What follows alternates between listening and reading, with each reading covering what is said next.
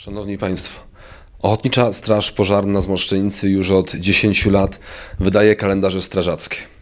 Również i na przyszły 2019 rok taki kalendarz został przygotowany. Duży, w formacie A3, czytelny, z wyraźnym kalendarium, dodatkowo rozszerzonym o harmonogram zbiórki odpadów komunalnych. Tak więc od najbliższej soboty, 10 listopada, druhny i druhowie Ochotniczej Straży Pożarnej z Moszczenicy będą odwiedzać mieszkańców Moszczenicy w ich domostwach i rozprowadzać kalendarze. Dziękujemy za życzliwość w latach ubiegłych.